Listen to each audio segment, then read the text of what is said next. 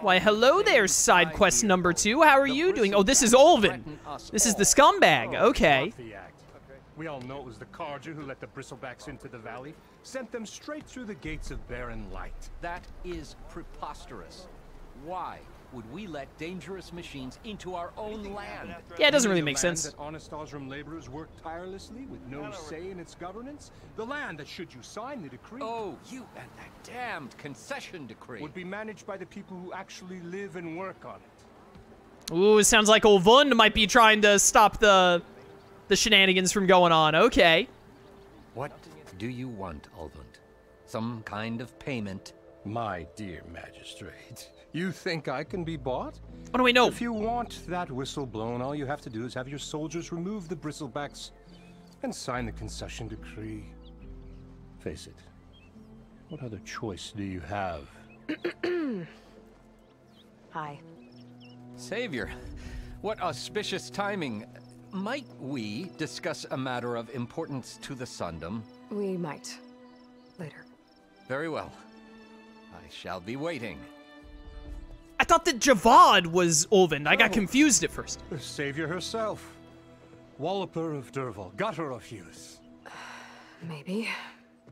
I've heard many tales of your beauty and heroics, my fierce lady warrior. Ulvund Freeholder, at your service. So, what could have dragged you away from the fine silks and wine of Meridian to this smudge of a settlement? Your saviorly attention must be needed elsewhere. I'm here for the embassy, and The embassy? Why, by the forge. Ah. Greater gears for greater matters. Guess that means you'll be moving on.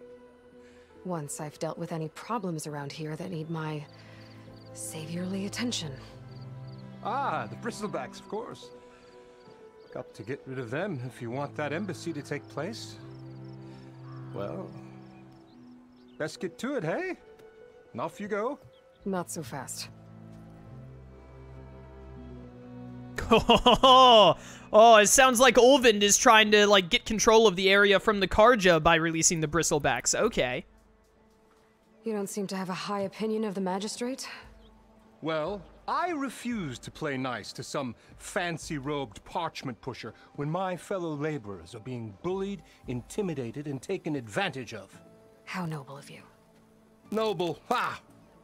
Born with a hammer in hand, I was. Nobody handed me anything or dropped opportunity into my lap. Everything I've achieved, I've done on my own. And where is this hammer now? The uh, burden of leadership forced me to set it aside. The Carja risk nothing, while demanding that good Oseram gamble with their lives out there. Someone had to step up and say no more. You ordered the work stoppage? Indeed, I did. We're laborers, not soldiers. Until the Carja clean up their mess and give us the fair deal we deserve, I'm not risking Oseram lives. Fair deal? You mean your concession decree? It's not my decree. It's on behalf of all the good Oseram laborers of this land who do all the backbreaking work, while only the Carja reap the rewards. All we're asking for is the ability to share in this prosperity for a land worked by the people, for the people. Right. Then just how much would be your share? Only an amount appropriate to my contributions to this community, uh, of course. Gee, I wonder. Uh, I wonder who decides just how much contribution he's made. If Chainscrape is on Carja land, shouldn't a Carja be in charge? Who appointed you? The sensibilities of good Oseram folk, of course. You think a Carja can head this whole venture? Ha! The magistrate can barely make the trek from Barren Light without losing a few screws. So you have no real authority then. People only follow you because you say so. Loudly. Anyone who has followers has authority. I've been with Chainscrape from the beginning. I mean, I'm practically its founder, and its honest folk know I'm indispensable to its success. He sure does talk like a politician, doesn't he? You said you founded Chainscrape. Somehow I doubt that. Practically founded, I said. Practically. I alone saw its potential when it was just a smattering of tents in Barren Light Shadow. I invested in the mine, convinced some friends back home to do the same, and here we are. You could say Chainscrape is what it is thanks to me. Oh, so you're not just standing around and profiting off everyone else? Not at all. Sure, I make a little return on my investment here and there, but my main priority, as it was from the beginning, is to look after the well-being of these honest, working Oseram. Where's the whistle? Right in the middle of town, but with the threat out there, I'm not endangering innocent Oseram lives. I'm going to clear out the bristlebacks. And when I'm done, this valley is gonna get moving. If that's what it takes. Until then, I'll keep looking after the safety of these good folk. Just be ready to blow the whistle. You better blow that dang whistle, brother. The bristlebacks. Two more skill. Dude, they're handing out skill points like it's candy. Why did the main okay the main quest does give two skill points. I was looking at the previous main quest. I was like the main quest only gives baby experience while the side quests give skill points? That's madness. Oh baby. Yo the bristlebacks are really close. What the heck? Oh no i gotta go talk to the carja okay that makes sense. All right. Okay we might not be seeing aaron today. that Carja magistrate wanted. i was not expecting to be in the tavern. I was not expecting to be hit with quite so many uh, side quests right out the gate. But, uh, you know. Oh, where is the nearest campfire for me to save? I need to, like, I need to trigger it as being green, too. Is this the campfire? Fast travel, free. Oh, you can fast travel for free if you're at a campfire? Oh, that's neat. That's new. Do the campfires not turn green when you've activated them anymore? Maybe I did already activate this one. Did I? Fast travel to campfire. Yeah, okay. So I did already activate that one. Oh, they're faded out and they turn white now. That's interesting. I prefer them turning green because it's very easy to tell. But I mean, now that I know what I'm looking at, I, I can tell. Like, this one is obviously faded out. This one is colored in. So, like, I can tell now. Crimson Narrows, there's the mine. Okay.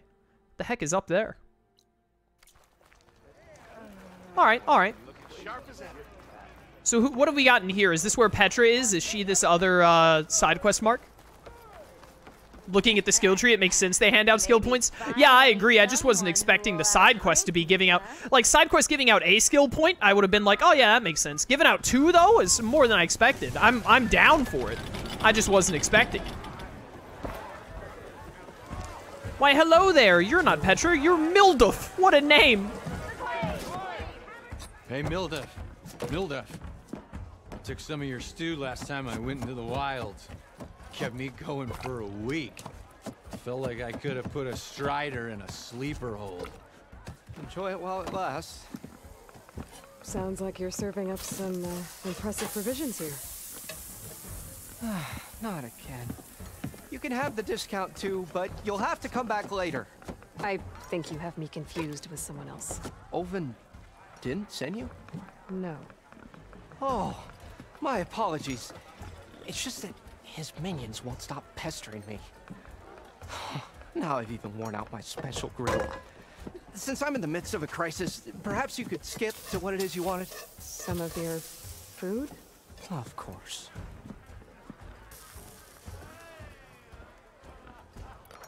By the way, I didn't mention it earlier, but another one of the complaints in the first Zero Dawn, and it didn't really bother me, I didn't really notice it as much, but people would say, like, the face models would be a little off sometimes when talking, and I could see it here and there, but it never really... I didn't really see it all that much compared to other people who talked about it, but man, the face models and, like, the modeling in this game fit the graphics amazingly. Like, look at how, look at how realistic this dude looks! It, dude, it's so good, I love it. Are Ulvund's people causing you problems? Oh, yeah. They constantly demand my best, but the equipment I need to make my signature dishes isn't built for batch cooking. And don't get me started on the Ulvund discount they feel so entitled to. And if you refuse? I make meals, no trouble. Understandable. How did you end up in Chainscrape? Heard about a new and upcoming town at the edge of the frontier.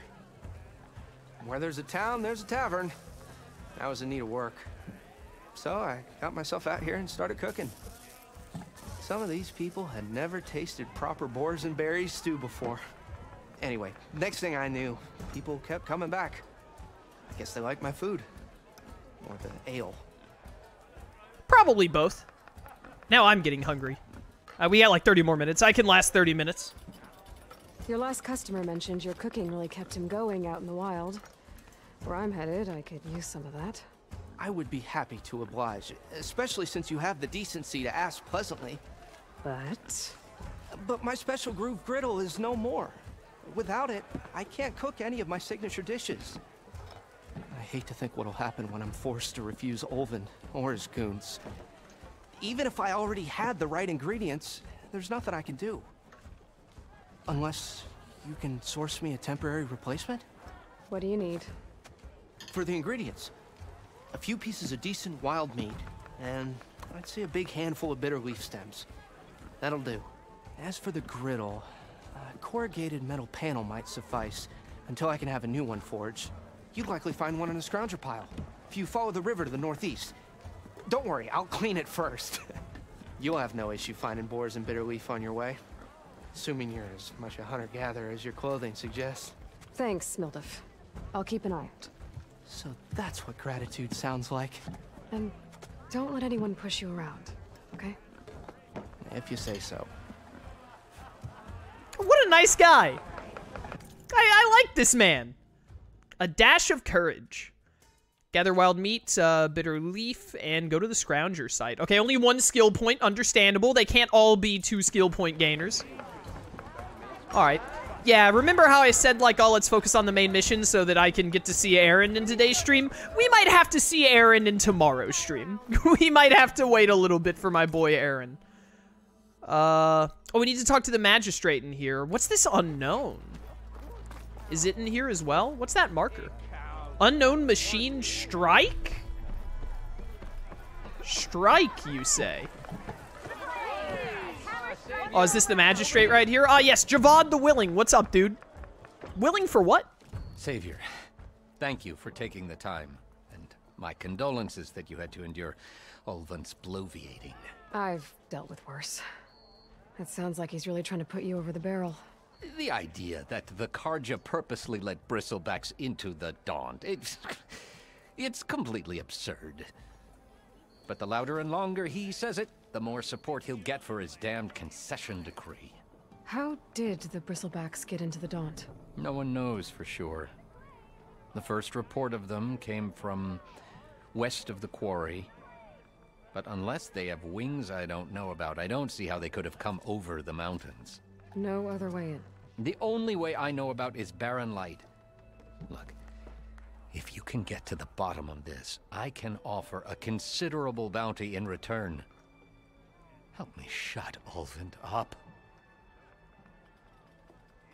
What is this concession decree that Ulvund wants? He wants the Sundom to designate portions of the Daunt as Oseram holdings. Only the portions, mind you, that produce any value. Let me guess. Because he stands to profit somehow? Exactly. With the Daunt under Oseram law, he could secure more investment for their numerous ventures. He can't get those investments without the concession? No. Not while there's a chance the Sundom could revoke their access. Hence, why the concession is so important to him. And why blaming the Carja for the bristlebacks, no matter how absurd, works in his favor. How does blaming the Carja for the bristlebacks help Ulvund get his concession? Look around. This may be the Sundom, but Chainscrape is all gears and rust and bad ale. Claiming that the Carja loosed the bristlebacks in order to intimidate Oseram laborers into obedience. Well, let's just say no one here has forgotten the atrocities of the Mad Sun King. And with the bristlebacks bringing work in the valley to a halt, Ulvund has plenty of time to pick at barely healed wounds. And if the Oseram refuse to work, unless the concession is signed, you won't have a choice. Correct. The reconstruction of Barren Light must continue. How did you get stuck out here? I asked for the posting, believe it or not. Overseeing the entire valley on behalf of the Sun King? It was an honor. Is an honor, I mean. But your job would be a lot easier without someone like Ulvund blasting hot air all the time. Ulvund's not going anywhere. He's been around longer than I have. Even fancies himself the founder of Chainscrape. now, I'll find a way to live with him. I have to. Yo, I, you know, Javad, the villain, I like you. I like the cut of your jib. You said the bristlebacks were first spotted west of the quarry? Yes, according to one terrified laborer, said the ground trembled before they came charging down the hillside. He took off and ran all the way here. Good place to start looking then. If you learn the truth, maybe Ulvund will stop blaming the Carja for every problem under the sun, and maybe then he'll actually focus on rebuilding Barren Light instead. Maybe, man. Maybe. See you later, Fluffy Munch. Thanks for coming to stream. Ooh, okay, so we do have it set up uh, like how it was in the old game where we have multiple arrows on one weapon. It looks like they just gave you more weapon spots in this game. Probably more weapons only have like two uh, two things of ammo instead of uh, instead of three, which uh, seems like a fair trade to me. I'm down for that. More weapon types, honestly, I'm super down for. Because uh, when playing Zero Dawn, it would have been really nice to have like less weapon types, like less uh like blast slings that had like explosion, fire, and ice when I really only wanted ice on the blast sling.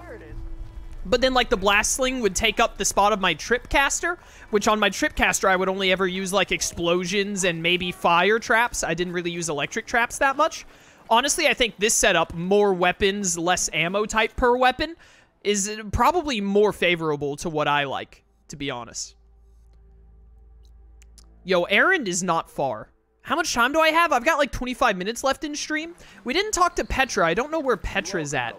But I'm going to be honest with you. I really, really want to see Erend in this stream. I hope. The only thing I'm worried about is that this main mission is going to be like a like a 40 minute event or something. I'm actually I'm actually a little worried that it's to be like, "Oh, you got to go over now." But uh let's let's do it. New melee pit? Any Oseram worth their steel knows training in close combat at Chainscrape's melee pit can mean the difference between life and death. Talk to the pit master. Oh, we're gonna sit in my throat. Talk to the pit master. Okay. There are so many different categories. There were only like six in the original game, six or seven. Oh my word, there's like 12 of them now, or more. That's more than 12. That's like 15. 1, 2, 3, 4, 5, 6, 7, 8, 9, 10, 11, 12, 13, 14, 15, 16, 17? 17 or 18, give or take? I probably miscounted. Ah! I want to do this while I'm right here. Erend's going to have to wait. I hate it, but he's going to have to wait. You wanted to speak to me? Well, you know better than anyone it's a dangerous world out there, and not just against machines. Name's Odurg. This here's my training pit. Best place to practice close combat this side of the Forbidden West. Say, I wonder who'd win in a fight. You, the savior of Meridian, champion of the East, or the Enduring, master of the West. Who? The Enduring, a legendary Tenakth fighter, the master of masters. I've heard the Tenakth have training pits just like this one. It's how the warriors get so fierce, see? And only the very best from the pits get to train with the Enduring. So, to find the Enduring, I should look for these training pits if I'm ever out that way? You'll have to go far if you do. The Tenakth are split into three clans. Three clans, three capitals, three training pits. My guess is you'd have to beat all of them if you want to train with the Enduring. If the Tenakth don't kill you on sight, that is. But that's a far spark in the wind. As for right now, I also offer challenges to test your fighting skill. Who would I be fighting exactly? You? Well, I know you're the savior and all, but you have to beat all the others first to challenge me. Rules are rules. We only use dual blades and practice arrows, mind. These drunken fools would run themselves through otherwise. You'll have to leave everything but your spear and practice arrows at the gate. But I'll look after your gear, not to worry. So, what do you say? Up for some training? I might be. That's what I like to hear. Odurg is his character design is gonna be in my nightmares tonight, chat. So many metal circles around him and those like awful glasses that he's wearing, I guess you would call him. Uh, dude, he's wild. Okay, so uh, melee pits. So there are like four of these in the world. This one and then like the three capitals, maybe another one here and there, who knows? And this enduring guy, that sounds really awesome. I, I look forward to doing these. I wonder if these are kind of like replacing hunting grounds or if there's still going to be hunting grounds in the game as well. I did I do really like hunting grounds. I didn't really like the Frozen Wilds DLC hunting grounds, but other than that one in the base game of Zero Dawn, I enjoyed all of the hunting grounds more or less. Melee pits test your close quarter fighting skills against other human opponents, complete all challenges against other fighters to ultimately face the pit master. The pit also allows you to practice your melee skills in a focused tutorial or an open-ended training session. That's nice. Okay, challenges, tutorials, and practice. Block Breaker, Resonator Blast, Challenge locked. Complete all other challenges for the Pitmaster Challenge, of course. You need to learn Block Breaker in the skill tree to unlock this challenge. Okay. Okay, and if I didn't have the Resonator Blast skill, I wouldn't be able to do this one. All right, this is really cool. Nora Warrior. I need to learn these skills to like, okay, so this is like how you test all of the stuff you've learned. Spinning a scythe?